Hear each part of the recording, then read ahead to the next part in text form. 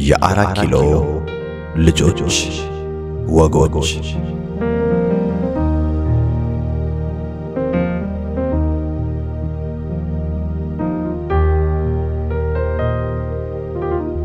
ደራሲ ዶክተር ጌታቸው ረዳ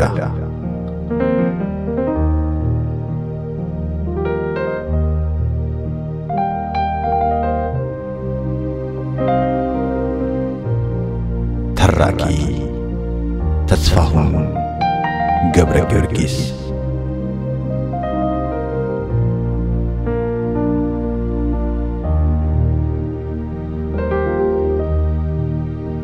ማጀቢያ ሙዚቃ ሮቤል ነጋሽ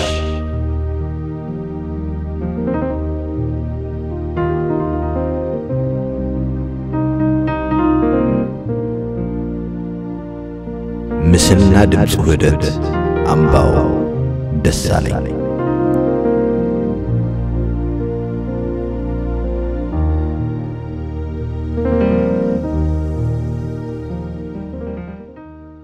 ተፈራ ዶሮ በእኛ የልጅነት ዘመን ማንኛውም ትምህርት በነፃ ይሰጥ ነበረ። ከአብነት ከቄስ ትምህርት ጀምሮ አንደኛ ደረጃ፣ ከፍተኛ ሁለተኛ ደረጃ ብሎም እስከ ኮሌጅ ድረስ አዲስ አበባ ውስጥ ስመጥሩ የሁለተኛ ደረጃ ትምህርት ቤት ዳግማዊ ምኒልክ፣ ተፈሪ መኮንን፣ ኮከበ ጽባህ ቀኃሥ፣ ጄኔራል ውንጌት አምሃ ደስታ፣ አርበኞች ወዘተ ትምህርት ቤቶች ነበሩ። ከአንደኛ ክፍል እስከ ሁለተኛ ደረጃ ብሎም እስከ ኮሌጅ በዛ ዘመን ይማር የነበረው ተማሪ ለትምህርት ምንም ክፍያ አይጠየቅም ነበረ።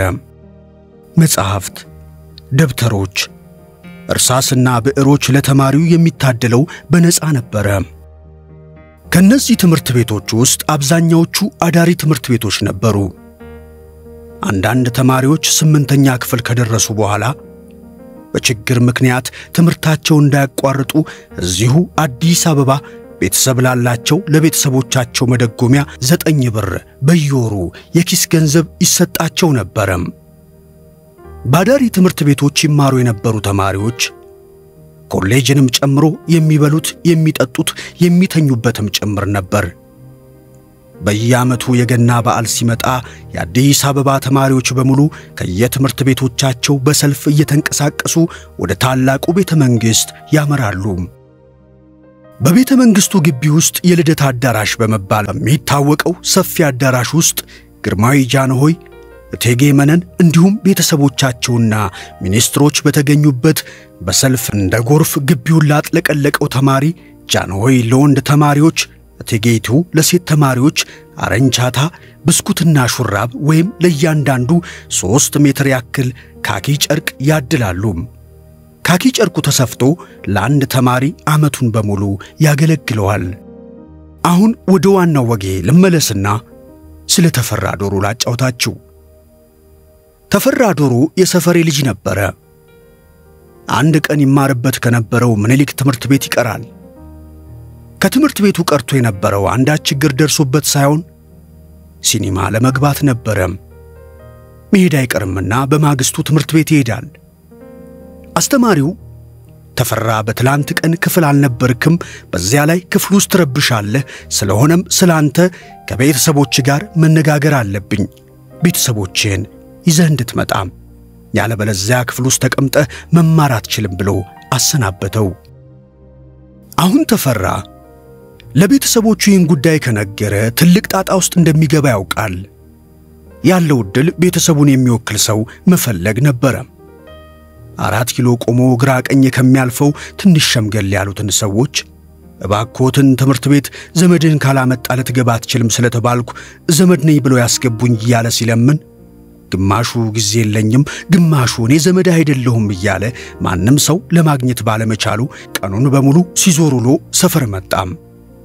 እኛም የሰፈር ልጆች የሐዘን ፊቱን አይተን ተፌ ዶሮ ምን ሆንሽ ዛሬ ብለን ስንጠይቀው ታሪኩን በሙሉ አጫወተን።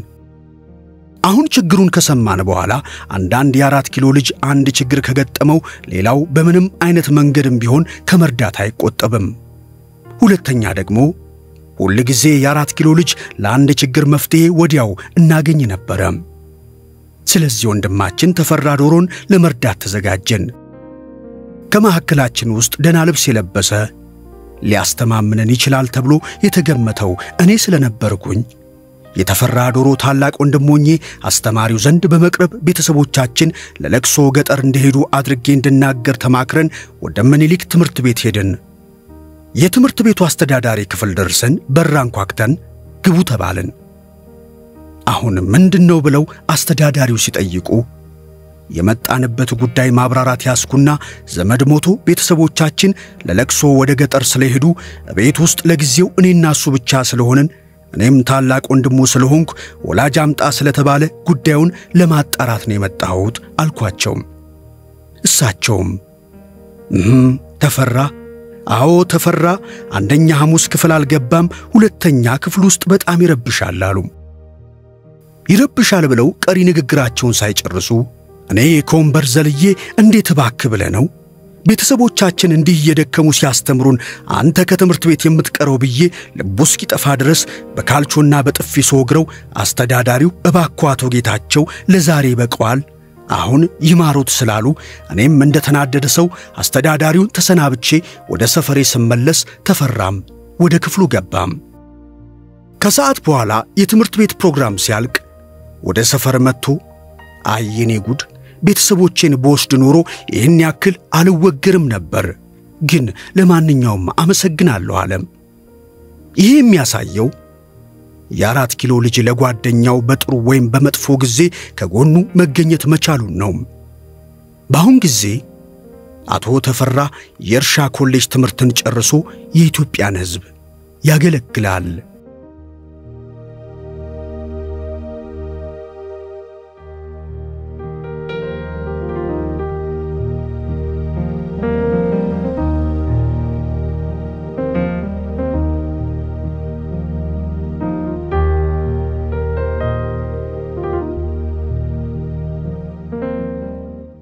ኢያሱ አርአያ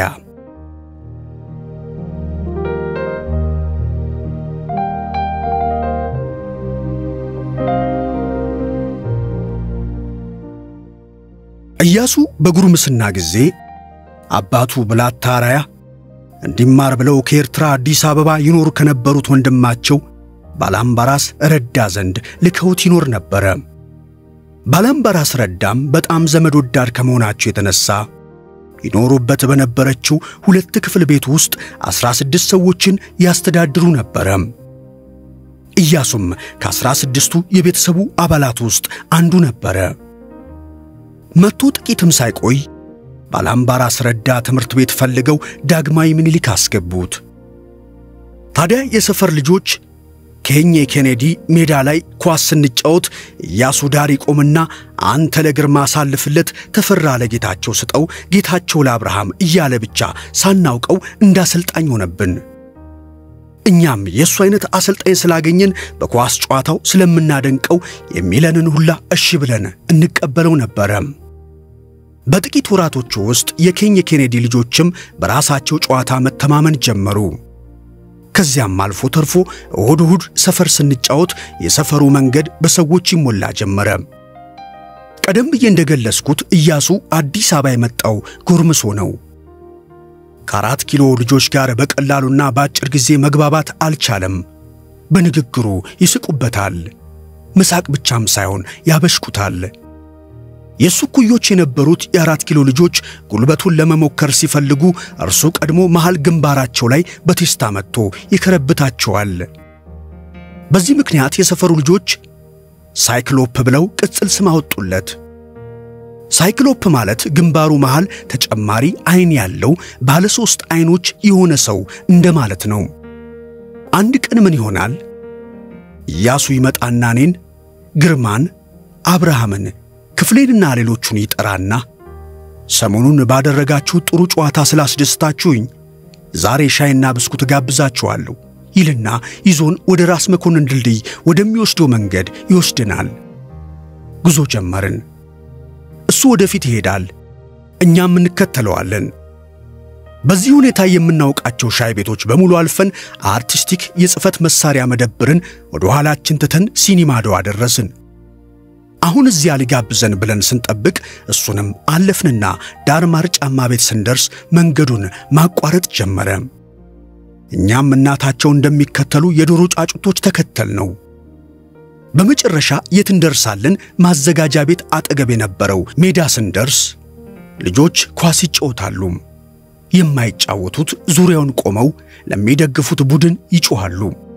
ታዲያ ግርማ ሁሌም ተጠራጣሪ ስለነበር ይቺ ሶዬ ሻይና ብስኩት ብላ ከእነዚህ ጋር ልታፏክተን ነው እንዳለ ኢያሱ መጣይልና ከሆኑ ሰዎች ጋር ወሬ ጀመረ።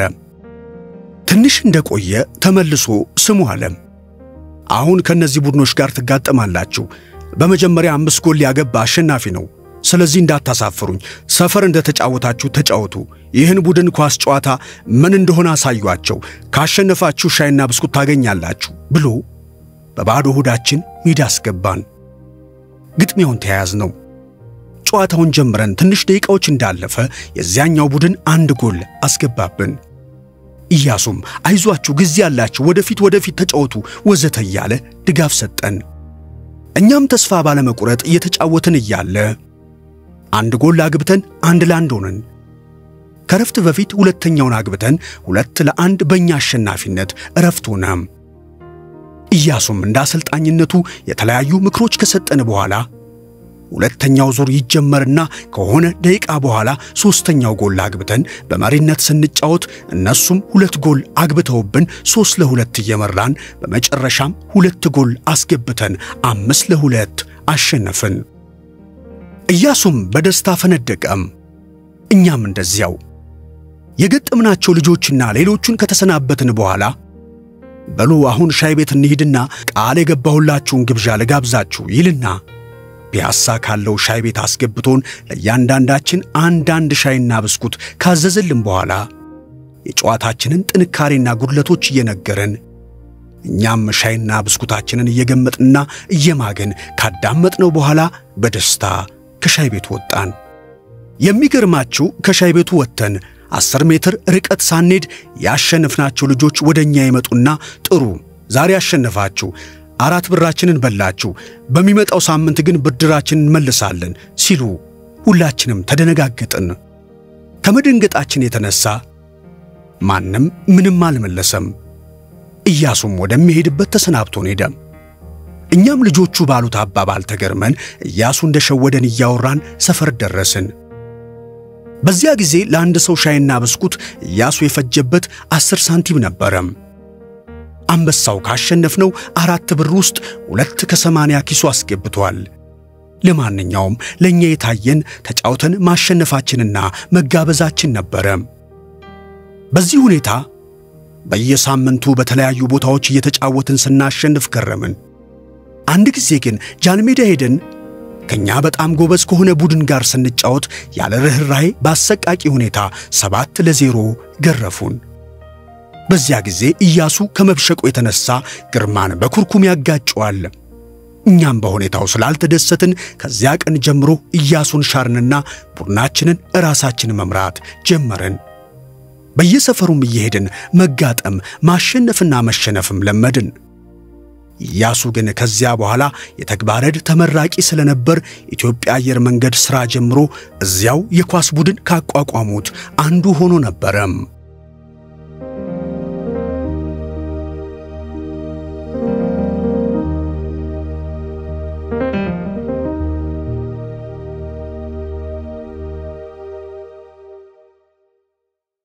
ተስፋዬ ገብሬ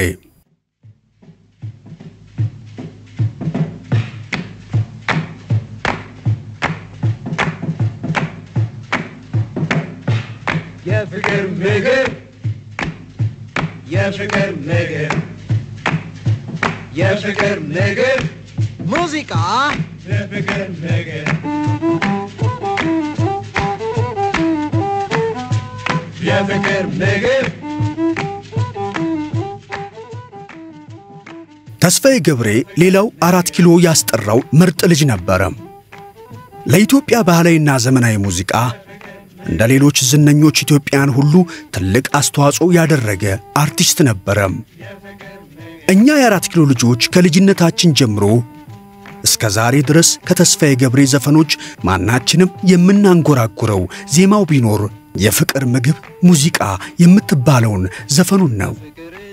እኔ ልጆኜ በኢትዮጵያ ሬዲዮም ሆነ በየሻይ ቤቶች በየቀኑ የምሰማውን የምወዳት ሙዚቃ በማሲንቆ እየታጀበ የዘፈናት ሌላው የማትረሳኝ ዘፈኑ የምን አለሽኝ ጨረቃ የምትባለዋ ናት።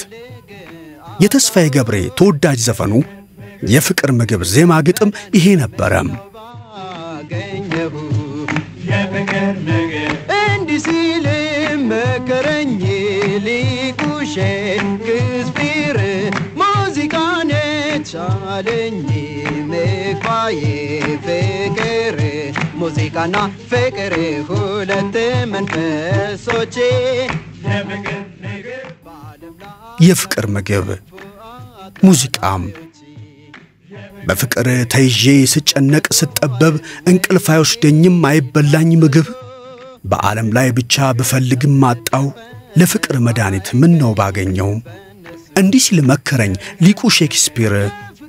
ሙዚቃ ነች አለኝ ምክሯ የፍቅር ሙዚቃና ፍቅር ሁለት መንፈሶች በዓለም ላይ ያሉ ክፉ አታላዮች የሚጨበጡ አይደል ወይ የሚዳሰሱ ያልተነጠፈ ሰው አይገኝ እንደሱም የፍቅር ምግብ ሙዚቃ ከሆንሽ ልቤ እንዲጠግብ እስኪ ልዘፋፍንሽ ወዝና መረቅ አቅፋ የያዘች ወይዘሪት ሙዚቃ የፍቅር ምግብ ነች። ለፍቅር ነው ሙዚቃ የተፈጠረው፣ በሙዚቃ ነው ፍቅር የተገኘው። ፍቅርና ሙዚቃ ሲሆኑ በአንድነት ለሰው ልጅ ይሰጣሉ መልካም አብነት። የፍቅር ምግብ ሙዚቃ ይላል። ፍቅርና ሙዚቃ ሲሆኑ አንድነት ለሰው ልጅ ይሰጣሉ መልካሙ አብነት የፍቅር ምግብ የፍቅር ምግብ ሙዚቃ የፍቅር ምግብ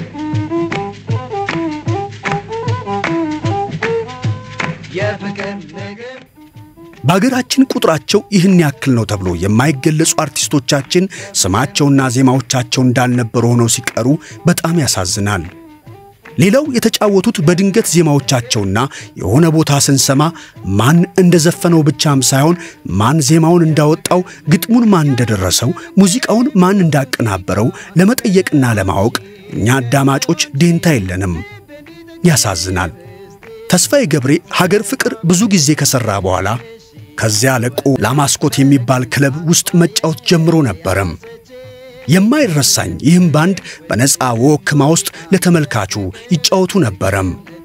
ከዚያም ተስፋዬ ገብሬ ወደ ጣሊያን አገር ሄዶ በተለያዩ ክለቦች የሙዚቃ ሥራውን ይሠራ ነበረም።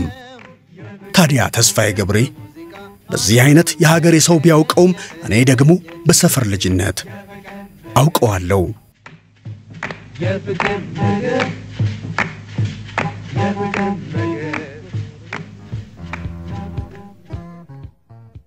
ባለንጀራዬ ግርማ ዘማርያም በጣም በጣም ቆንጆ እህት ነበረችው።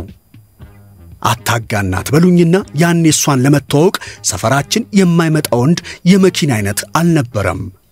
ሌላው ደግሞ ሴቶች ይለብሱት የነበረው ከቀሚሳቸው በታች ወይንም ውስጥ ልብስ ብለን የምንጠራውን ከላይ ያለውን ቀለማማ ቀሚስ ወደ ውጭ ገትሮ እንዲይዝ በሙቅ ይነክሩትና ከደረቀ በኋላ በካውያ ይተኩሱታል። እሱን በሚለብሱበት ጊዜ ወገባቸው ቀጭን ስለሆነ የሙሽራ አበባ ይመስሉ ነበረ። ይህን አይነት ልብሳቸውን ለብሰው በሚወጡበት ጊዜ እንኳን ጎረምሳውና እኛን ጩጬዎቹን አፋችንን ያስከፍቱን ነበረ። ታዲያ ይሄ ጓደኛዬ ተስፋዬ ገብሬ እህቱን እንደሚወዳት ያውቅ ነበረ። ያን ጊዜ እኔ የማውቀው ነገር ለካስ ተስፋዬ ከጓደኛዬ እህት አረጋሽ ከምትባል ጋር ፍቅር ይዞት ደብዳቤ ጽፎ በጓደኛዬ ግርማ ዘማርያም በኩል እንዲሰጣት ያደርጋል። እንዲህ እንዲህ እያለ አንድ ቀን እኔና ጓደኛዬ ሆነን ከሰፈር ተነስተን ወደ ፒያሳ ስንሄድ ሞዝቮልድ ጋር ስንደርስ ማን እናገኛለን? ተስፋዬ ገብሬን። ይህ ጓደኛዬ ተስፋዬ ገብሬ እንደተመለከተ ከመደሰቱም በላይ ተርበደበደም። ታዲያስ ጋሽ ተስፋዬ አለው። ተስፋዬም ምነው ጠፋ ሲለው ጓደኛዬ ፈጠን ብሎ እንዲያውም ስንፈልግህ ነበር እህቴ ልካኝ ፈልጌ አጥቼ ነው እንጂ መልእክት ነበረኝ አለው። ተስፋዬም የሰጠሁት ደብዳቤን ሰጠሃት ብሎ ጠየቀው። ግርማም አዎ አለ። የፈለግኩህም ለዚህ ነበር። እህቴም ደብዳቤውን አንብባ ደስ ብሏታል። ነገር ግን ለፀጉር መሠሪያ ትንሽ ገንዘብ ስለጎደላት የተቻለህን ያክል እንድትልክልኝ ብለሃለች አለው። ተስፋዬም ፊቱ ላይ ፈገግታ አሳየ። አሁን ዝርዝር ስለሌለኝ ኑ ከዘረዘርኩ በኋላ ሰጥሃለሁ ብሎ ወደ አገር ፍቅር ቲያትር መውጫ ጎን በእጃቸው ልብስ የሚያጥቡና የሚተኩሱ ሰዎች ዘንድ አመራን። አሁን ተስፋዬ ልብሱን ከቀያየረ በኋላ ለአጣቢዎች አስር ብር ይሰጥና ሰባት ብር መልስ ይሰጡታል። ከሰባት ብር ሁለቷን ሱሪ ውስጥ ይከትና አምስቷን ብር ለእህትህ ስጣት ብሎ ሰጠው። ስለ ደብዳቤው መልስ ከሰሞኑ ይዘና ብሎም አሰናበተን።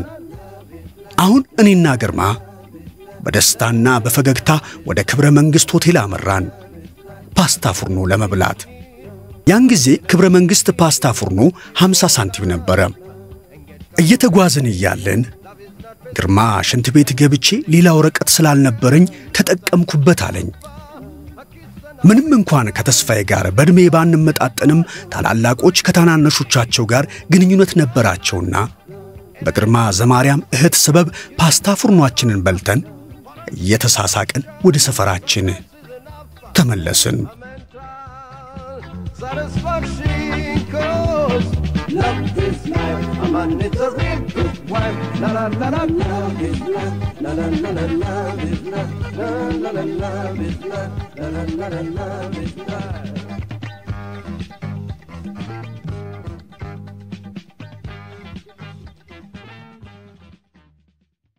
ጌታቸው ሊጦ ሊጥ አልበላም።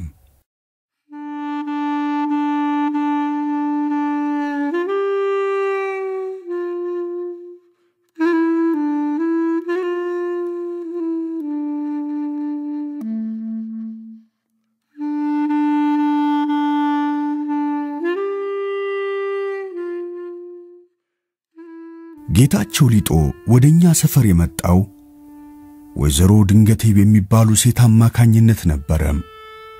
እኚህ ሰው የሰፈሩ እንጀራ ጋጋሪ፣ ውሃ ቀጂና የተለያዩ ሥራዎች እየሰሩ የሚተዳደሩ ነበሩ። ከባል አገር አምጥተው ነበር ቤታቸው የሚያኖሩት።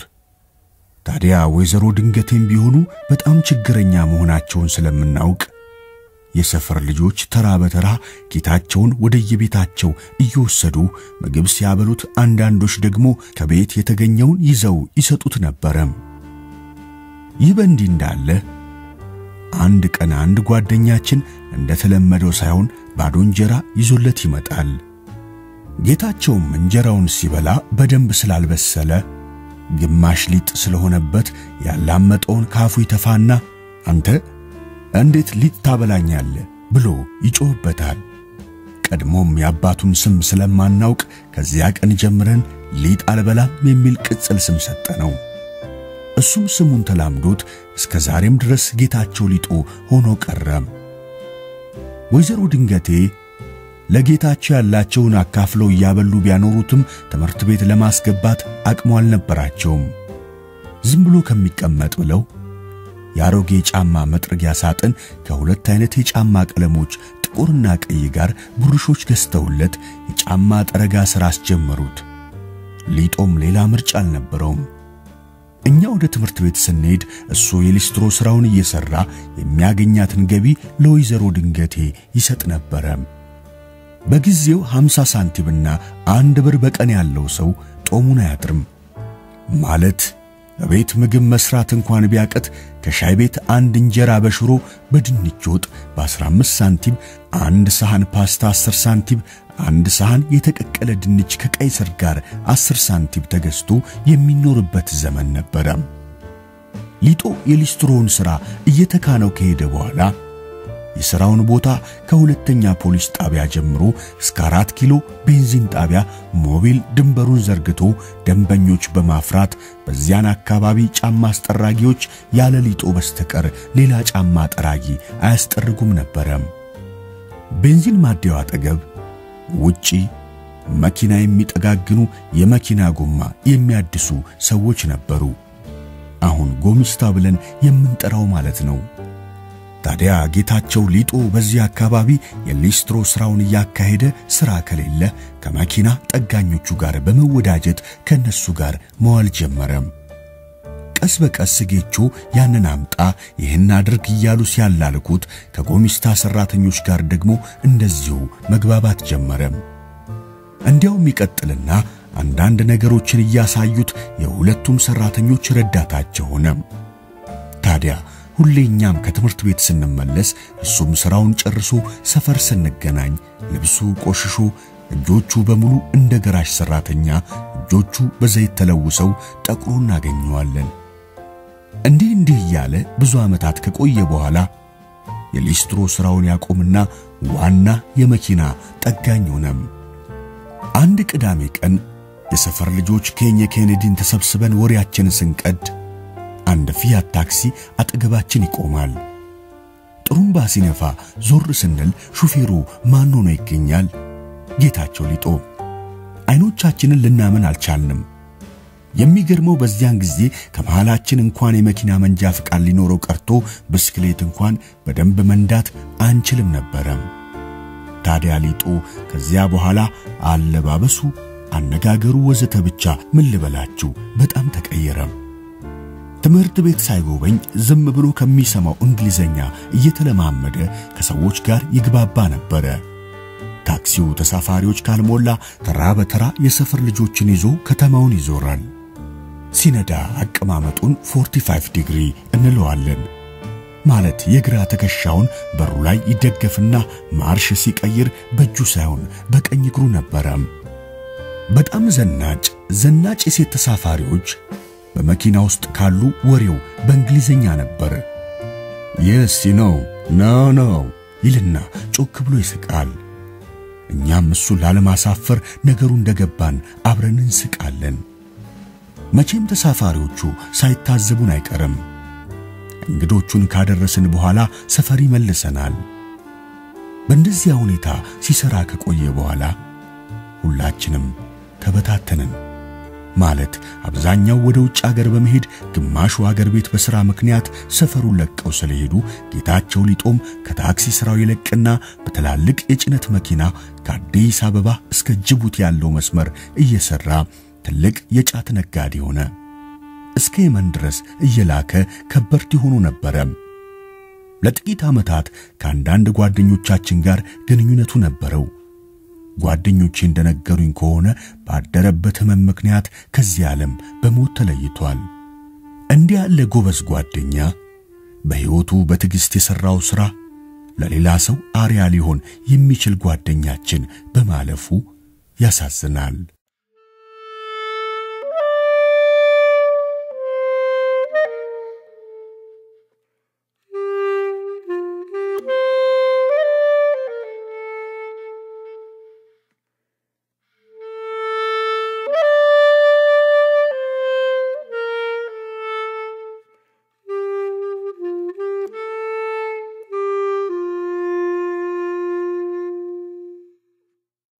ሐኪም መንገሻ ሐኪም ፍላቴ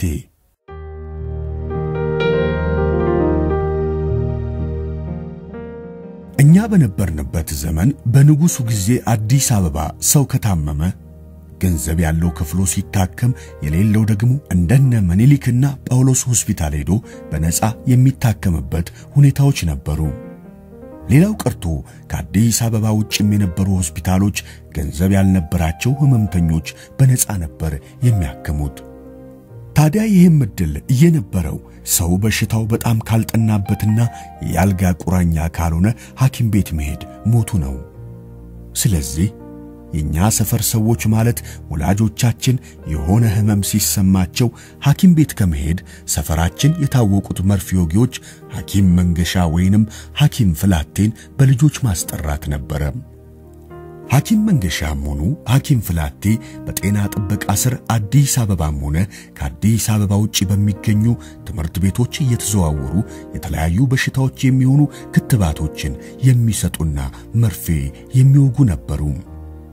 ታዲያ ሁለቱም መርፌ ወጊዎች ሰፈር ውስጥ ልጅ ተልኮ እከሌ ወይም እከሊት ታማለች ወይንም ታሟል ተብሎ ከተነገራቸው ምግብ የሚብሉ ቡና የሚጠጡ እርግፍ አድርገው ትተው የመርፌና የመድኃኒት ማስቀመጫቸውን ይዘው በፍጥነት ወደ ታማሚው ቤት ይሄዳሉ። በዚህ መካከል ጊዜ እንዳይጠፋ ጠሪው ልጅ እነሱን ለመጥራት ከቤት እግራቸው ሲወጣ ቤት ያሉት ደግሞ ከሰል ያቀጣጥሉና በትልቅ ብረት ድስት ውሃ ጥደው እስኪፍለቅለቅ ይጠብቋቸዋል። ሐኪም መንገሻም ሆኑ ሐኪም ፍላቴ ከሕመምተኛው ቤት ሲደርሱ የመጀመሪያው ጥያቄያቸው ውሃው ፈላ ነበረም። ከዚያ የሚወጉበትን መርፌ እዚያ የፈላ ውሃ ውስጥ ጨምረው እስከሚቀቀል ድረስ ታማሚውን ምን እንዳመማቸው ይጠይቁና ይዘው የመጡትን የፔንሲሊን ብልቃጥ ጠረጴዛ ላይ ካስቀመጡ በኋላ በወሬ ያበረታታሉ። ታማሚው ሆዱን ይቁረጠው፣ የእግርና የእጅ ወገብ ቁርጥማት ይሁን ብቻ የፈለገው በሽታም ቢሆን የሚወጋው ፔንሲሊን ነበረ። ታዲያ ያ የሚቀቀለው መርፌ ሰዓት ደርሶ እስከሚወጣና ፔንሲሊኑ እስኪበጠበት ድረስ ስለ ቤተሰብ ጤንነት፣ ስለ ልጆቻቸው የትምህርት ሁኔታ ብቻ ምን ልበላችሁ የቋጤ ባጡን ያወራሉ። ከዚያ ያ የተቀቀለው መርፌ ከፈላው ውሃ ይወጣና ጠረጴዛው ላይ በተነጠፈው ነጭ መሐረብ በሚመስል ጨርቅ ላይ ከተቀመጠ በኋላ ፔንሲሊኑን መበጥበጫ የሚጠቀሙበትን ትንሽ ብልቃጥ በትንሽ መጋዝ ጫፉን ቆርጠው በስትሪንጀሩ ላይ የተቀቀለውን መርፌ ሰክተው ከሳቡት በኋላ ያንን ፈሳሽ መበጥበጫ ፔንሲሊኑ ጠርሙስ ውስጥ ጨምረው ይበጠብጡታል። የተበጠበጠውን ወደ ስትሪንጀሩ ከሳቡት በኋላ ሴት ቀሚሷን ከፍ አድርገው ወንድ ከሆነ ሱሪውን ወደ ታች አስወልቀውና አስጎንብሰው ያንን መርፌ የቤቱ ሰው ሁሉ ባለበት ዳሌያቸው ላይ ይወጓቸዋል። ከመርፌው በኋላ ይገርማቸዋል። እንደዚያ ታሞ የነበረ ሁሉ በማግስቱ ጤነኛ ሆኖ ወደ ሥራ የሚሄደው ይሄዳል።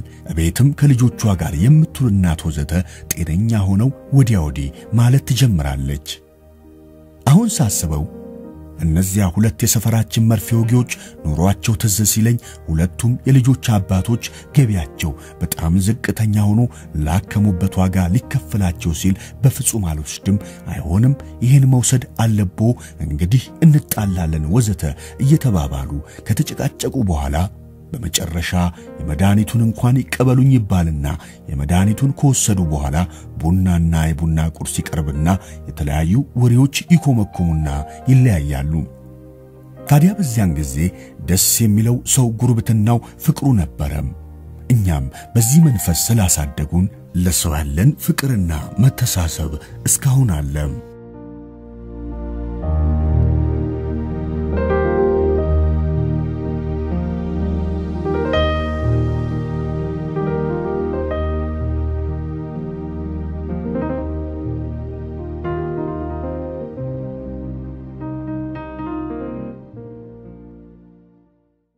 ኔቪ ባር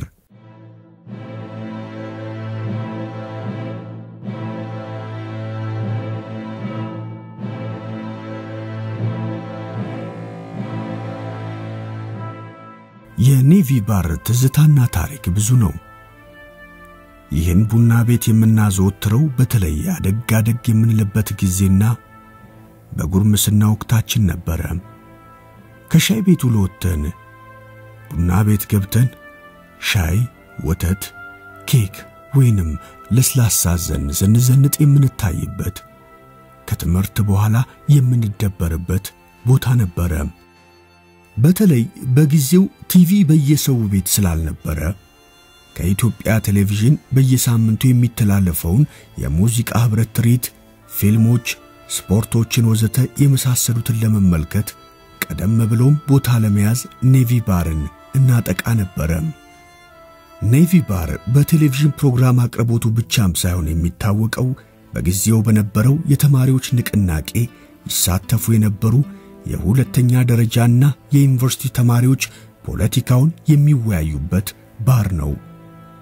እንደዚያው የመንግስቱ ሰላዮችም ከዚያ ባር አይጠፉም። መቼም በዚያን ጊዜ ሁኔታውን ልብ አድርጎ ለተመለከተው መድረክ ላይ ቀርቦ የሚታይ ቲያትር ይመስላል። ሰላዩ በአንድ አካባቢ ያንጃብባል። ተማሪው ደግሞ ማን ማንነታችንን ስለሚያውቅ የጦፈ ውይይት ላይ ድንገት አንድ ሰላይ ሲገባ ነብሮ መጣች ይባልና ወሬው ከፖለቲካው ውይይት ወዲያውኑ ተቀይሮ ውይይቱ ሲኒማ ቤቶች ስላወጡት ፊልሞች ይሆናል። አንዳንዴ በእውነት አስተዋይ ለሆነና መዝናናት ለሚፈልግ ሰው ቲያትር ቤት ከመሄድ ኔቪ ባር የሚካሄዱትን ትዕይንቶች ረጋ ብሎ ከተመለከተ ብዙ ነገሮችን ያያል ይማራልም። የኔቪ ባር ባለቤት አቶ ገብረ መሲህ ይባሉ ነበረ። ጓደኛችን የሆነም ልጅ ነበራቸው። አቶ ገብረ መሲህ ይህም ባር ሊከፍቱ ሁሉን ነገር ጨርሰው የባሩን ስም ሊያስመዘግቡና ፈቃድ ለማውጣት ማዘጋጃ ቤት ሄደው የሆነውን ላጫውታችሁ። ለቡና ቤታቸው እንደ ማንኛውም ንግድ ፈቃድ ሊያወጡ ወደ ማዘጋጃ ቤት ይሄዱና ጉዳዩን ወደሚመለከተው ክፍል ሄደው በራ አንኳኩተው ጤና ይስጥልኝ ብለው ይገባሉ። ወንበሩ ላይ የተቀመጠው ጉዳይ ተቀባይ ሰራተኛ ለሰላምታቸው አጽፋውን ይመልስላቸውና መቀመጫ ካቀረበላቸው በኋላ ምን ልርዳው ይላቸዋል።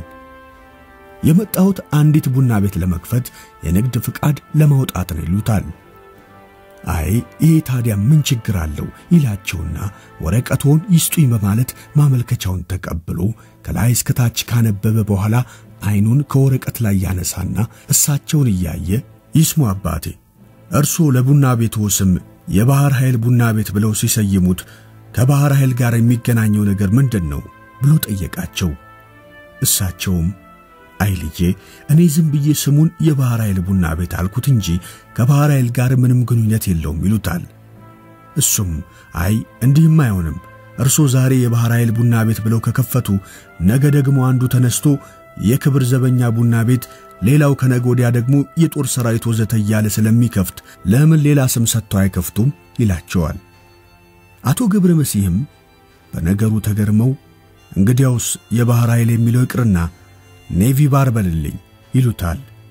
ሥራ አስፈጻሚው ይሄ ጥሩ ስም ነው ይላቸውና የንግድ ፈቃዳቸውን በኔቪ ባር ስም መዝግቦ ፈቃድን ሰጥቷቸው ይሸኛቸዋል። ለነገሩ ፈቃድ ሰጪው ሠራተኛ ልዩነቱ አልገባውም እንጂ እንግሊዘኛ መሆኑ ነበረም። ስልቻ ቀልቀሎ፣ ቀልቀሎ ስልቻ እንዲሉ። በነገራችን ላይ ቡና ቤቱ ሲከፈት የባህር ኃይል ኮማንደር የነበሩት እስክንድር ደስታ ቡና ቤቱን መርቀው ነበር የከፈቱት። የአቶ ገብረ ተንሳይ ልጅ ምስራቅ ጓደኛችን በአሁኑ ጊዜ እዚሁ ጀርመን አብረን እንኖራለን። መቼም ስለ ጌታቸው ዱላ ብዙ የማውጋችሁ ነገር የለም። እሱ በኢትዮጵያ ብቻም ሳይሆን በጠቅላላ በአፍሪካ የታወቀ ስፖርተኛም የሰፈራችን የአራት ኪሎ ጀግና ልጅ ነበረም። እኔ አሁን ላጫውታችሁ የፈለግኩት የጌታቸው ዱላን የስፖርት ጀግንነት ሳይሆን በወጣትነታችን ያሳለፍነውን ጀብድ ነው። ስለ ጌታቸው አበበ የኢትዮጵያ ብሔራዊ ቡድን በረኛ የነበረ ጀግንነት እስከ ዛሬ ድረስ ታሪኩ ሳይጻፍ የቀረ አይመስለኝም። አንድ ቅዳሜ ከሰዓት በኋላ ላይ እኔና ጌታቸው ዱላ ሆነን ከስዊስ ሆቴል በታች ቆመን እያወራን እያለን አንድ ጓደኛችን በቅርቡ ፖሊስ አካዳሚ ጨርሶ መቶ አለቃ የሆነ ጌታቸው ኃይሉ የሚባል ይመጣል። በተለመደው የሰላምታ ልውውጥ አደረግን። የኑሮና ብልሃቱን ጨዋታችንን ትንሽ ተጫወትን። በኋላ ምሽቱን ምን ምን ለማድረግ እንዳቀደን ይጠይቀናል። እኛም በእውነትም ምንም የምንሰራው ሥራ ወይም ከሌሎች ጓደኞቻችን ጋር ቀጠሮ ስላልነበረን ምንም ዕቅድ እንደሌለን ነገር ነው። እንግዲያውስ የምትሰሩት ነገር ከሌላችሁ ፖሊስ መኮንኖች ክለብ እንሂድና ቢራ ልጋብዛችሁ ይልና ታክሲ ያዝን።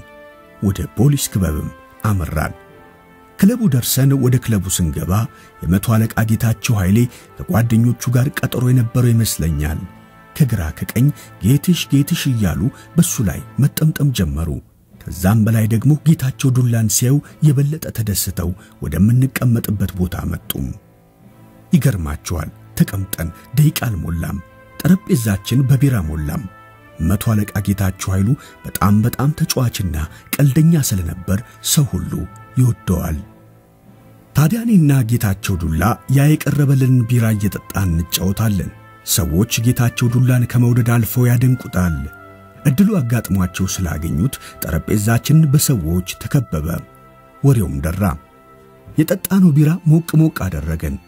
መቶ አለቃ ጌታቸውን ይዘን ፒያሳ ሄደን ለመጫወት እኔና ዱላ ወሰንን። ብንጠይቀው ከጓደኞቹ ጋር ለማምሸት እቅድ ስለነበረው ከፈለጋችሁ እናንተ ሂዱ፣ ሌላ ጊዜ እንገናኛለን ብሎን እዚያው ቀረ። እኔና ዱላ ሆነን ሰዎቹን ተሰናብተን ከክለቡ ወጥተን ታክሲ እየፈለግን በእግራችን ስንጓዝ አንድ አጋጣሚ ተፈጠረም። አንድ የምናውቀው ታክሲ ነጂ ልጅ ታክሲ አቆመልንና ወዴት እንደምንሄድ ጠየቀን።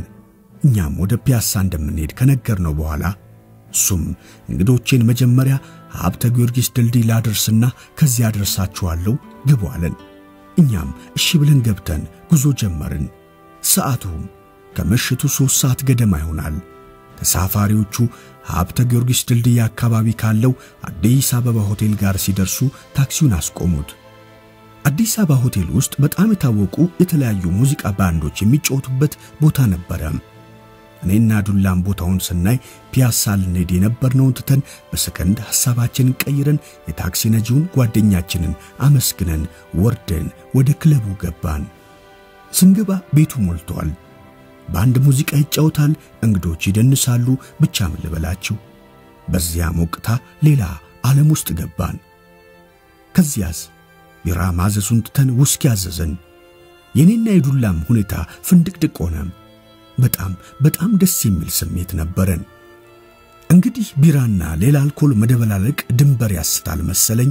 ለምንና እንዴት እንደሆነ በማናውቀው ሁኔታ ከሆኑ ሰዎች ጋር እንጋጭና ጥል ይነሳል። ትንሽ ከተወጋገርን በኋላ የአገሬ ሰው እንኳን ሰው ተደባድቦ ቀርቶ ገና ድብድብ ሊጀመር ሲል መሃል ገብቶ ይገላግላል። እግዚአብሔር ይስጣቸውና መሃላችን ገብተው ካገላገሉን በኋላ እኔና ዱላ አዲስ መጠጣችንን አዘን ወደ ጥግ ወደሚገኘው ወንበር ሄደን ቁጭ እንዳልን እንቅልፍ ይዞን በተቀመጥንበት ጭልጥ አለ። ሁሉም ነገር አልፎ ሰው ሁሉ ወጥቶ ሰራተኞች ዕቃ ሲያዘጋጁ ሁለታችን ተኝተን ቀሰቀሱን። ስናይ የት እንዳለን አናውቅም ነበረ። የባሩ ኃላፊ ይመስለኛል እናንተ ምን አይነት ሰዎች ናችሁ? እብድ ያለ ረብሻ አስነስታችሁ ከሰዎች ጋር ተደባድባችሁ በዚያ የሙዚቃ ጭሆት እንቅልፍ የሚይዛችሁ ብሎ በማስከተልም በሉ ወደ ቤታችሁ ሂዱ ብሎ አሰናበተን። እነዚህ የተደባደብናቸው ሰዎች መጥፎ ቂመኞች ቢሆኑ ኖሮ የተኛንበት አፈር ድሜ ሊያበሉን ይችሉ ነበረ። ግን አላደረጉትም። እግዚአብሔር ይስጣቸው። ቆይ ቆይ ቆይ የመቶ አለቃ ጌታቸውን ቀልደኝነትና ተጫዋችነቱን ላውራችሁ። የኛ ሰፈር ልጆች መቼም ልጆችም ሆንን ጎረምሶች፣ ሌላው ቀርቶ አሁን ተገናኝተን ስናውራ አንተ አንተ አንባባልም። አንቺ ሰውዬ ስሚ ወይም እቺ ሰውዬ ቱሻ እያሰራችን ነው ወዘተ ነው የምንባባለው። በአጠቃላይ በዚህ አይነት ነው የምናወራው። ታዲያ ሁሉም አድጎ ግማሹ አስተማሪነት ሲቀጠር፣ ግማሹ ባህረተኝነት ሲገባ፣ ግማሹ ባንክ ቤት፣ ግማሹ የፖሊስ መኮንን ሲሆን፣ ግማሹ ሰዓሊ ወዘተ በሆነበት ሁኔታ ሁሉ ዞረን ዞረን የምንገናኘው እዚያው ኬኛ ኬኔዲ ነበረ። አንድ ቀን ሰፈራችን ይገኝ ከነበረው ያሊ ሱቅ በራፍ ላይ ቆመን የጦፈ ወሬ እያወራን ሳለን መቶ አለቃ ጌታቸው ከታች ከብቅል ተራ ሰፈር ወደ ሥራ ሲሄድ ተሰብስበን ያገኘናል። ያው በተለመደው ታዲያስ ጌትሽ ወዴት ነው? ወደ ሥራ። የእኛ ሥራ ቅዳሜና እሑድ አይልም ይልና ትንሽ እንደቆየ አንዱ ጓደኛችን እንደ ቀልድ ስሚ ጌቹ፣ አሁን አንቺ በትእዛዝ ሰው ለማሰር ትችያለሽ ይለዋል። እሱም ቀልደኛ ነውና አሁን አንተን ራስን ከፈለክ እስር ቤት ላስገባ እችላለሁ ብሎ ይመልስለታል። ያኛውም አትችልም ይለዋል። ጌታቸውም አው እችላለሁ፣ ጥሩ ይልና ዞር ዞር ብሎ ሲመለከት አንድ የፖሊስ ወታደር ሲያልፍ ያይና ይጠራዋል። ወታደሩም መጥቶ በተጠንቀቅ ሰላምታ ከሰጠው በኋላ ምን ልታዘዝ ይለዋል። በጣቱ ወደ ጓደኛችን ያመለክትና ይህን ወስላታ ወደ ጣቢያ ውሰደውና ጠብቀኝ ብሎት ጓደኛችንን ያስወስደዋል። ያ ጓደኛችንም የቀልድ መስሎ ሲግደረደር ፖሊሱ እየገፈታተረ ጣቢያ ደረሰው። ጌታቸውም ኑ ላሳያችሁ ብሎ አስከትሎን ጣቢያ ስንደርስ እኛን ሲመለከተን ጓደኛችን እንባ ይተናነቀው ጀመረ። መቶ አለቃ ጌታቸውን ቢሮ ገባ። ባርኔጣውን አወለቀ። ወንበሩ ላይ ቁጭ ብሎ አሁን የመጣውን እስረኛ አምጡት ይልና ስማ ታዲያ አሁን እኔ ላስራ አልችልም ብሎ ይጠይቀዋል። አሁን ገባኝ ትችያለሽ ብሎ እዛው ጣቢያ ውስጥ ሁላችንም ተሳሳቅን። ወደ ሰፈር ተመለስን። ጌታቸው ታዲያ ሊያሳየው የፈለገው እንኳን አንድ የፖሊስ መኮንን ቀርቶ ተራ ወታደር እንኳን 24 ሰዓት ሊያስር እንደሚችል ነበረ።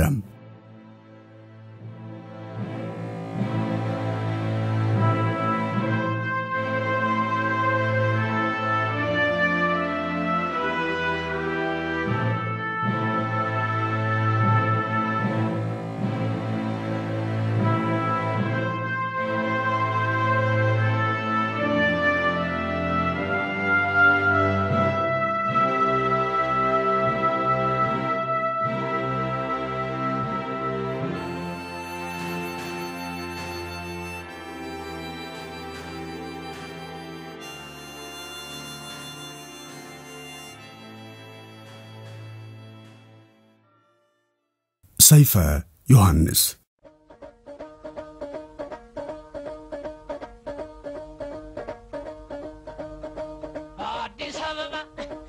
ዘብና ሰይፈ ዮሐንስ የካዛንችስ ሰፈር ልጅ ነበረ።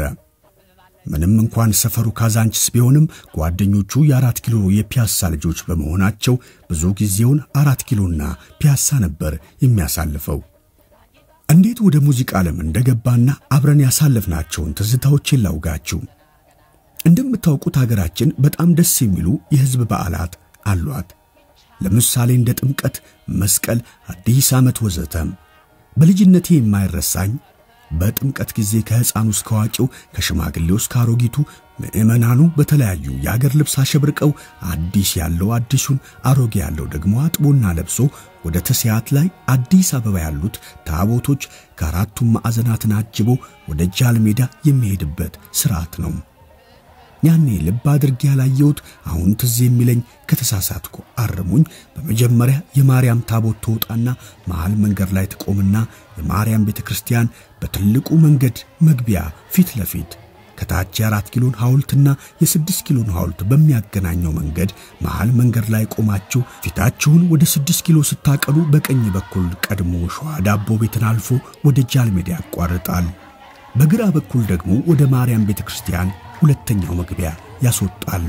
ቀሳውስቱ በከበሮ በጽናጽል በተቃኘ ድምፃቸው እየዘመሩ ተከታዮቹ ደግሞ ግማሹ የቀሳውስቱን ዝማሬ በመቀበል ሲያዜሙ፣ ሌሎች ደግሞ የተለያየ የባህል ዘፈኖችን እየዘፈኑ እየጨፈሩ ሌሎቹን ታቦቶች ይጠብቃሉ። አሁን ከታች የፓርላማው መንገድ ይዘው የሥላሴ፣ የገብርኤል፣ የባህታ ወዘተ አሁን አርሙኝ ሌሎችም ሊኖሩ ይችላሉ።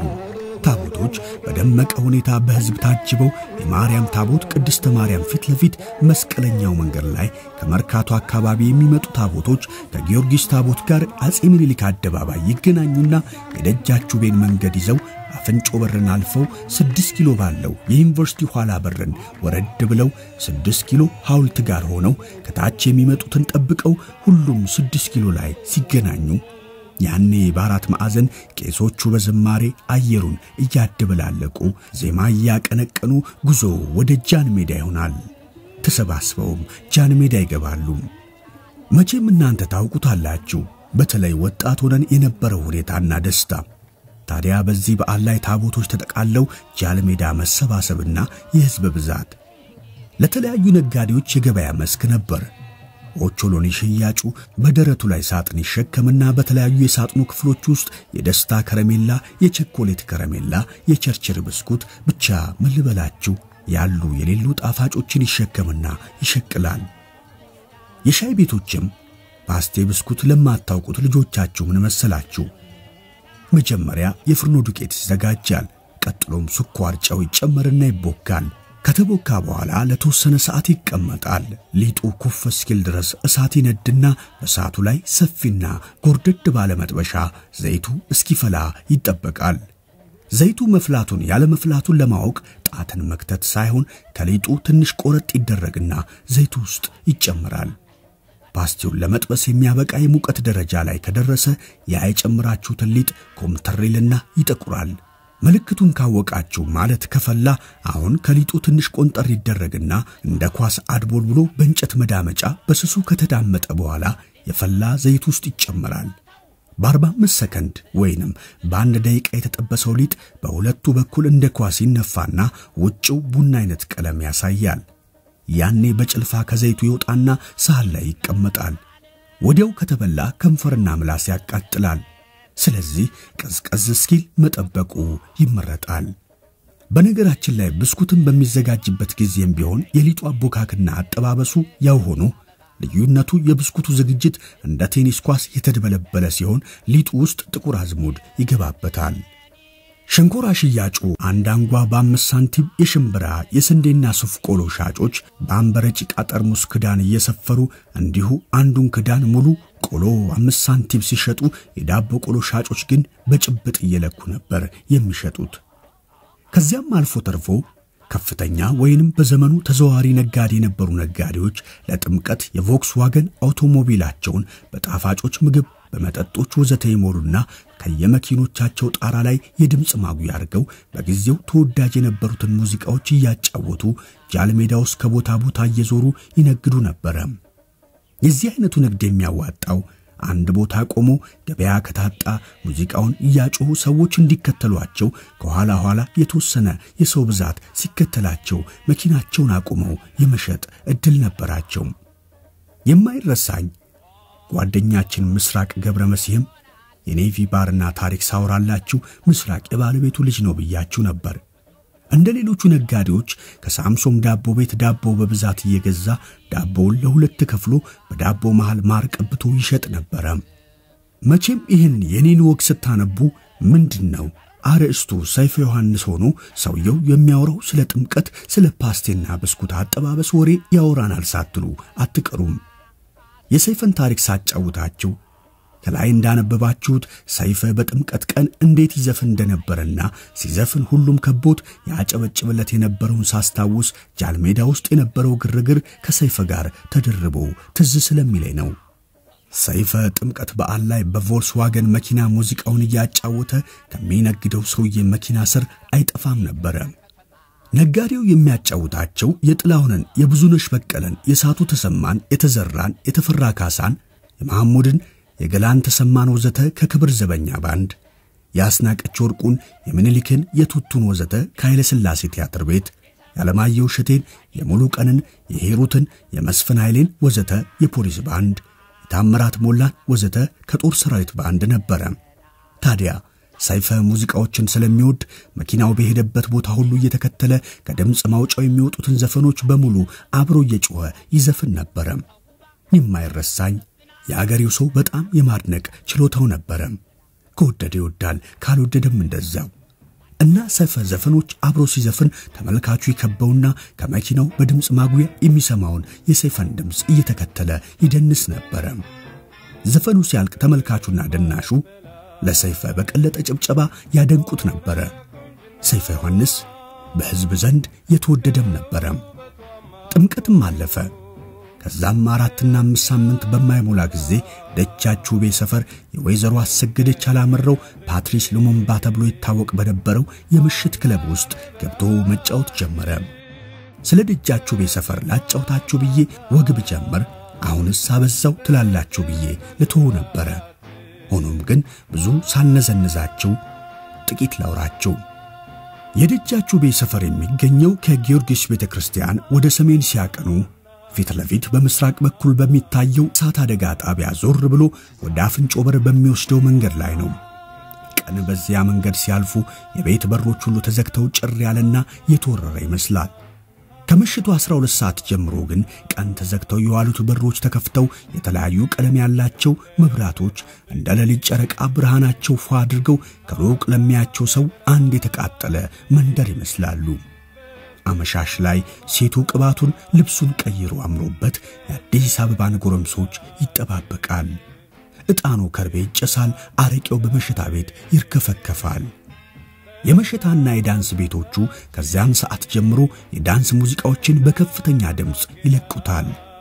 ከዚያ እስከ ንጋቱ ድረስ አስረሽ ምቹ ነው። ለዚህም ይመስላል የደጃችሁ ቤ ሰፈር ወይም መንደር ውቤ በረሃ እየተባለ ይጠራ የነበረው። ሰይፈ ዮሐንስ ለተወሰነ ጊዜ በዚሁ በደጃችሁ ቤ ሰፈር ማለትም በፓትሪስ ሉሙምባ ክለብ ሰርቶ ነበረ። ሽንጥና ዳሌ ሲታዩ የተሰኘው ተወዳጅ ዘፈኑም ያኔ ነበር የተዘፈነው። ከዚያም በኋላ እነ ተሾመ ምትኬ ተስፋዬ ሆዶ ከበሮ፣ ታምራት ፈረንጅ ጆሮ እንዲሁም ቴዎድሮስ ምትኩ ሳክስፎን ወዘተ መስርተው ከነበረው ዙላ ባንድ ውስጥ ገብቶ መጫወት ጀምሮ ነበር። በነገራችን ላይ ከሰይፉ በስተቀር የጠቀስኳቸው ሙዚቀኞች ሁሉ የተገኙት ከቃስ ትምህርት ቤት ነበረም። ቀደም አድርጌ እንደገለጽኩት በየትምህርት ቤቱ የሙዚቃ ትምህርት የሚሰጥና የማርሽ ባንዶች ስለነበሩ ዳግማዊ ምኒልክ ተፈሪ መኮንን ትምህርት ቤቶች ታዋቂ ድምፃውያንና ዘፋኞች፣ ሙዚቀኞች መፍለቂያዎች ነበሩ።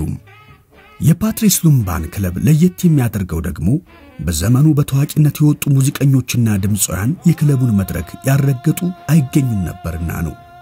ሰይፉ የካዛንችስ ልጅ ይሁን እንጂ ውሎና ዳሩ አራት ኪሎ ልጆች ጋር ነበረ። ግርማ ዘማርያም ራስ ሆቴል ውስጥ ከራስ ባንድ ጋር ከበሮ መጫወት ከጀመረ በኋላ ሰፈራችን ጋሪ ሰፈር ወይም ኬኜ ኬኔዲ ይለቅና ፒያሳ ከግሪክ ቤተ ክርስቲያን ፊት ለፊት የአንዲት አርመናዊት አሮጊት ቤት ተከራይቶ መኖር ይጀምራል። የግርማ ቤት መሃል ከተማ ስለሆነ ብዙዎቻችን መሰብሰቢያ አደረግነው። ግርማ የሸክላ ማጫወቻና ብዙ የሙዚቃ ሸክላዎች ስለነበሩት በተጨማሪም ሻይ የቀቀለ በነፃ ስለሚሰጥ ቤቱን እናዘወትራለን። ታዲያ ሰይፈም ግርማ ቤት ይመጣና ከገባ በኋላ ታዲያስ ምን አዲስ ነገር አለ ይልና በቀጥታ የግርማ ሽቶ አርተር ያለበት ቦታ ይሄድና ግርማን ሳያስፈቅድ አንስቶ ይለቀለቅ ነበረም።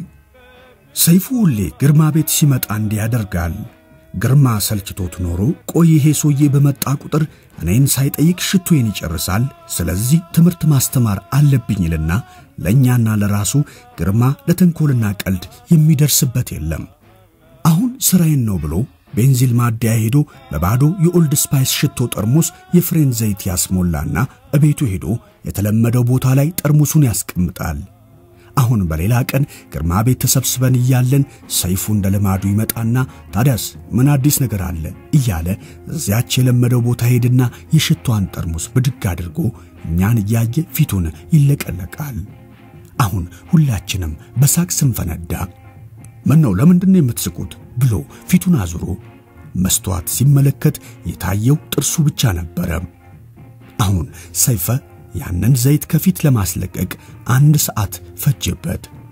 ግርማም ከዚያ ቀን ጀምሮ ስለ ሽቶ ማሰብን አቆመ። እንግዲህ እንዲህ የመሳሰሉ የሕይወት ጀብዶች ነበሩን።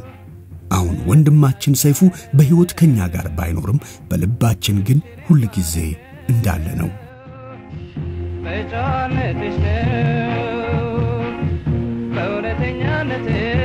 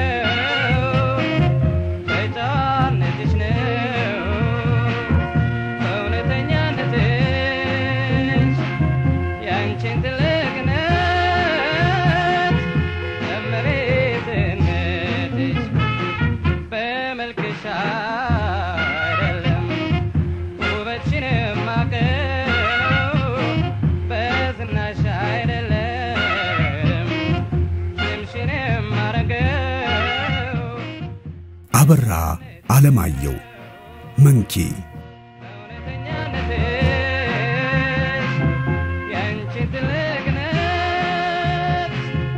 እመቤትነትሽ አበራ አለማየሁ መንኪ ሰፈሩ ሰባ ደረጃ ቢሆንም ውሎው ወክማ የነበረ አብሮ አደግ ጓደኛችን ነበረ። የወክማ አባሎች በነበርንበት ጊዜ ለማንኛውም ጓደኞቻችን በነበራቸው ጸባይ ሆነ ወይም ሁኔታዎች የቅጽል ስም እንሰጣቸው ነበረ። ታዲያ ሁሉም የቅጽል ስማቸውን ተቀብለውት በቅጽል ስማቸው ስንጠራቸው የመቀየም ወይም የመብሸቅ ምልክት አያሳዩም። አበራንም ማንኪ ያልንበት ምክንያት ነበረን። ወክማ አባል በነበርንበት ጊዜ በፊት እንዳወጓችሁ ብዙ የተለያዩ ፕሮግራሞች ውስጥ እንሳተፋለን። ከብዙዎች አንዱ እንዲህ ነበረም። አምስት ሜትር የሚረዝም ወፍራም አጥና ከስር እስከ ጫፍ በግራሱ ይቀባና የላይኛው ጫፍ ላይ አስር ብር ይንጠለጠልና አጠናው ይተከላል።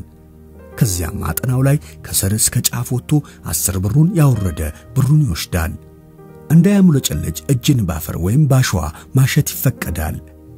መቼስ በዚያን ጊዜ አንድ አስር ብር አገኘ ማለት የወር የሲኔማና የሻይ ቤት መዋያው ሠራ ማለት ነው።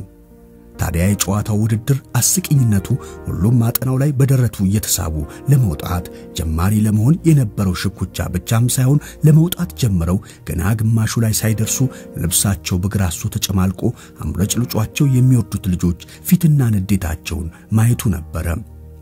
እንደዚያ ውድድር ተካሂዶ ማንም ያንን በር ሳያወርድ ይቀርና አበራ ተራው ሲደርስ በመጀመሪያ ልብሱን ያውልቅና በቡታንቲ ብቻ ይሆናል። ከዚያ እጁንና እግሩን በአፈርና አሸዋ ካሸ በኋላ አጥናው ላይ በደረቱ እየተሳበ መውጣት ይጀምራል። ወጥቶ ወጥቶ ግማሹ ላይ ሲደርስ እንደ ሌሎቹ ተወዳዳሪዎች ተንሸራቶ ይወርዳል ብለን ስንጠብቀው መውጣቱን ይቀጥላል። የተሰበሰብነው ሁሉ ደርሰሃል፣ ደርሰሃል፣ በርታ በርታ እያልን መጮህ እንጀምራለን። አበራ እኛ ጮህን አልጮህን ዴንታ ሳይሰጠው አስሯ ብር ጋር ደርሶ ብሩን ካጠና ያገናኘችውን ስፒል ነቅሎ ብሩን ይዞ እየተዝናና ካጠና ይወርዳል። ከመካከላችን አንዱ ባልሳሳት ማሙዬ ተፈራ ወይም ግርማ ዘማርያም መሰለኝ ይሄ ሰው አይደለም monkey ነው እንጂ አለ። ከዚያም ቀን ጀምሮ አበራ መሆኑ ቀርቶ አገር ለቀን እስከወጣንበት ድረስ ማንኪ እያልን ነበር የምንጠራው። አበራ መንኪ ሙዚቃና ዳንስ በጣም ይወድ ነበር። በተለይ ኤልቪስ ፕሪስሊን እንደ ነፍሱ ይወደው ነበረ። ከዚህ በፊት እንዳጫወትኳችሁ በሻይ ቤቱ ከግርማ ዘማርያም ጋር ሆነው ሰውን ያዝናኑ ነበረ። ታዲያ አንዳንዴ አምላክ ሁሉን አሟልቶ አይሰጥም ነውና ማንኪ ለመስፈን ድምፅ አልሰጣትም። ቢሆንም ዴንታ የለውም። ወክማ ቲያትር እያዘጋጀን ስናሳይ ማንኪ የመድረኩን መጋረጃ ሲከፈት የኤልቪስን ዘፈን እየዘፈነ እግሮቹን እያንቀጠቀጠ ሲደንስ አዳራሹን የሞሉት ቦታ ጠፍቶ በመስኮት ተንጠልጥለው የሚመለከቱት ተመልካቾች ሁሉ ሁለት እጃቸውን እየመቱ ያጅቡት ነበረ። ሲጨርስ ይደገም ይደገም የሚለው ጩኸትና ጭብጨባ አዳራሹን ያናውጠዋል። ታዲያ አንድ ቀን ወክማ ግቢ ውስጥ ተሰብስበን የቋጡን እያወራን እያለን አበራ መንኪ በፊት አይተነው የማናውቀው አዲስ ሸሚዝ ለብሶ መጣ። የሚገርማችሁ ሸሚዙ አዲስ አበባ ውስጥ ማንም ሰው የሚለብሰው ሸሚዝ ሳይሆን አይነቱና ቅዱ ራሱን ፊልም ላይ ብቻ ነበር ያየ ነው። እኛም በማድነቅ ማንኪ ይህን ሸሚዝ ደግሞ ከየት አመጣሽው አልነው። ማንኪም በመዝናናት ሮይ ሮጀርስ የሰጠኝ ስጦታ ነው አለ። ይህን ታሪክ ሲነግረን አጋጣሚ ሆኖ ሮይ ሮጀርስ King of the Cowboys የተሰኘው አሜሪካዊ ፊልም ተጫዋች በግል አውሮፕላኑ ኢትዮጵያን ለመጎብኘት መምጣቱን የኢትዮጵያ ጋዜጦች አብስረው ነበረም። እኛም ተገርመን ማንኪን ከበን ማድነቅ ጀመርን። ሮይ ሮጀርስ ለማንኪ ሸሚዙን ይሸልመው አይሸልመው በዓይናችን ባናይም ሳንጠራጠረው ማንኪን ጮሌነቱን እናደንቀው ነበረ። የአበራ ማንኪ ሸሚዝና በአዲስ አበባ ውስጥ እንደ ሰደድ እሳት ተዛመተ። አበራም ብዙ ጊዜ ሳይለብሰው ቁም ሳጥን ውስጥ ከተተው። እንዲያውም አንድ ጊዜ አለማየሁ እሸቴ ስለ ሸሚዙ ዝና ሰምቶ ካበራ በመዋስ አንድ ዝግጅት ላይ እንደለበሰው ትዝ ይለኛል። በመጨረሻም ግን በሙዚቃውና በቲያትሩ ስላልተሳካለት ኤሌክትሮኒክስ መደብር ውስጥ ተቀጥሮ መስራት ጀምሮ ነበረ። በአሁን ጊዜ አበራ መንኪ በዚህ ዓለም በሕይወት የለም።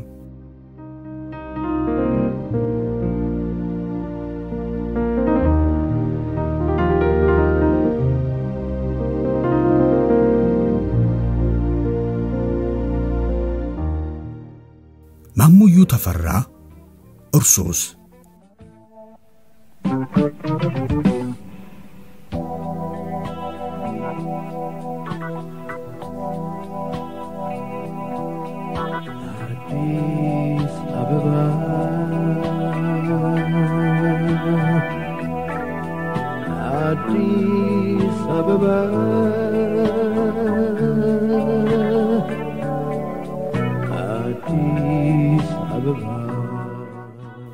ተፈራ አራት ኪሎ አብሮ አደግ ጓደኛችን ነበረ። አባቱ አቶ ተፈራ ዳኛ የነበሩና ቤታቸው ከኘ ከኔዲ ወይም ጋሪ ሰፈር ሰራተኛ ሰፈርን በሚያገናኘው መንገድ መሃሉ ላይ ብቅል ተራ ተብሎ ያኔ ይጠራ በነበረው ቦታ ነበረ። ያ ሰፈር ለምን ብቅል ተራ እንደተባለ ታውቃላችሁ? በእኔ ዕድሜ ያላችሁ ታውቁታላችሁ። ለማታውቁት የነማሙዬ ሰፈር ብቅል ተራ የተባለበት ምክንያት ያኔ ይገርማችኋል፣ ሀብታም ይሁን ድሃ ጠጅ አይጠምቅም እንጂ ሁሉም በዓል በመጣ ቁጥር ቢያንስ ቢያንስ ጠላ ይጠምቁ ነበረ። ታዲያ ያመቸው ጠላ ሲጠምቅ ከፈለገ ብቅሉን ቀደም ብሎ ቤቱ አብቅሎ ሁሉም ነገር ይወጣዋል። ያላቸው ደግሞ ከነማሙዬ ሰፈር ብቅል ይገዛል። የሚገርማችሁ የዚያ ሰፈር መንገድ እንደ ዛሬው ሳይፈርስ በዚያችው ጠባብ መንገድ ላይ በተለይ በጋ ላይ ብቅሉ በፀሐይ እንዲደርቅላቸው በኬሻ ላይ አድርገው በዚያች ጠባብ መንገድ በግራና በቀኝ ከላይ እስከታች ያሰጡታል። መንገደኛውም ከላይ ወደ ታች እስከ ታች ወደ ላይ የሚሄደውን ማለት ነው ብቅሉ የተሰጣበትን ኬሻ ላለመርገጥ አንደኛው መንገድ የጀመረው እስኪያልፍ ድረስ ሌላኛው ይጠብቅ ነበረ። የሚደንቀው ብቅል አስጩም ሆነ መንገደኛው መንገዴ ላይ አሰጣችሁ፣ ብቅሌን ረገጣችሁ ተባብለው አያውቁም። እንዲያውም እንደሚተዋወቁ ሰዎች ጤና ይስጥልኝ፣ ጤና ይስጥልኝ ይባባሉ ነበረ። የእኛ ሰፈር ልጆች አብዛኞቻችን ቀጫጮች ስንሆን አንዳንዶቻችን እንደ ማሙያ ይሁኑ እንጂ ደና ስፖርተኛ ሰውነትም ነበረን።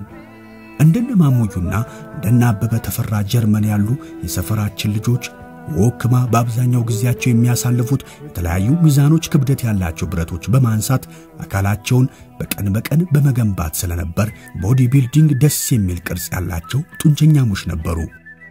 በእኛ ዘመን ከአራት ኪሎ ልጆች ከነማሙዬ ወክማ ውስጥ በአካል ግንባታ ሲታወቁ እነ ቢልልኝ ደስታ ከትልልቆቹ በጠረጴዛ ኳስ፣ እነ አለማየሁ ሸዋ ታጠቅ ዜንጦ በመረብ ኳስ፣ እነ በላይ አመነ ሸዋ ከትናንሾቹ በጠረጴዛ ኳስ ወዘተ ይታወቁ ነበረም። የማሙዬ ትንሽ እህትም ሆነች ወንድሞቹ ወፍራምና ድንቡጭዮች ነበሩ። ድሮ ድሮ በሲኒማ ቤቶች በአብዛኛው የሚታዩ ፊልሞች የአሜሪካን የነበሩ ቢሆንም አልፎ አልፎ በተለይ ሲኒማ አምፔር የጣሊያን ፊልም አስመጥቶ ያሳይ ነበረ። ኢትዮጵያ ሲኒማ ደግሞ የህንድ ፊልም Mother India ዋክት እንዲሁም ያሳይ ነበረ። ታዲያ አንድ ጊዜ ሲኒማ አምፔር ኦርሱስ የተሰኘ የጣሊያን ፊልም አስመጥቶ ሲያሳይ የባለቤቱ actor ሰውነት በስፖርት የተገነባና ባለ ጡንቻ ስለነበር የዚህ actor ቅርጽ ከማሙዬ ጋር ስለሚመሳሰል ማሙዩን የሰፈር ልጆች ኦርሱስ የሚል የቅጽል ስም ሰጡት። የማሙዬ ስፖርታዊነት ወወክማ ውስጥ ብቻም ሳይሆን ይማርበት ለነበረው ለዳግማዊ ምኒልክ ትምህርት ቤት የመቶ የሁለት መቶ ሜትሮች ሯጭ ከመሆኑም በላይ ያኔ በየዓመቱ አዲስ አበባ ካምቦሎጆ ውስጥ ይደረግ ከነበረው የትምህርት ቤቶች የሩጫ ውድድር ላይ እየተሳተፈ ሁሌም አንደኛ ነበር የሚወጣው። በሁለቱ ሩጫዎች የሬከርድ ባለቤትም ነበረ። የመጨረሻ ውድድር ላይ ከአንድ እስከ ሦስት ደረጃ ያገኙትን ተወዳዳሪዎች የሚሸልሙት ራሳቸው ጃንሆይ ነበሩ። ከሰፈር ልጆች ከዚህ በፊት በተለያዩ ስፖርት መድረኮች የሚሳተፍ የነበር። በነገራችን ላይ እኔም ራሴ ለትምህርት ቤቴ ለተፈሪ መኮንን ትምህርት ቤት ሯጭ በነበርኩበት ጊዜ በመቶና በሁለት መቶ ሜትር አሸናፊ ስለነበርኩ በጊዜው በተመሳሳይ ርቀት የኦሎምፒክ አሸናፊ የነበረውን የራፈር ጆንሰንን ስም እንደ ቅጽል ስም ተሰጥቶኝ ነበረ። እስከ ዛሬም ድረስ ከጓደኞቼ ጥቂት ደብዳቤዎች እየተጻጻፍን ሲደርሱኝ በጆንሰን ረዳ ስም ነበር የሚመጣልኝ። አንድ ማሰርሻ የሚባል የምኒልክ ትምህርት ቤትን በመወከል በሰማይ ዘላይ አዲስ አበባ በሚደረጉት የትምህርት ቤት ውድድሮች ሁሉ የሚያሸንፍ ነበረ።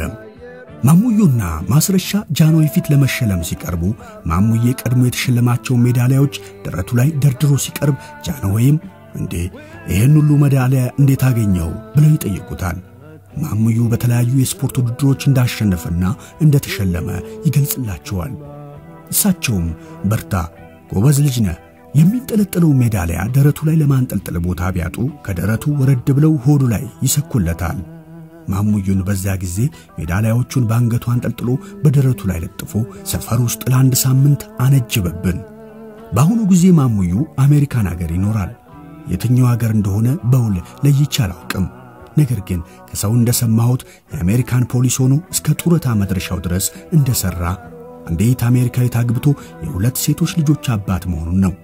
ከማሙዩ ጋር የነበረን ግንኙነት የጃንሆይ መንግሥት ከወደቀ ጀምሮ ተቋርጧል። በተለይ በደርግ ጊዜ ወንድሞቹ በግፍ ስለተገደሉበት ቅር ስለተሰኘ ይሆናል እስከ ዛሬ ድረስ ወደ አገር ቤት አልተመለሰም።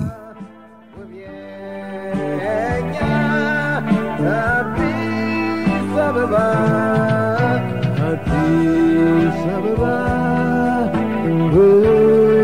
አዲስ አበባ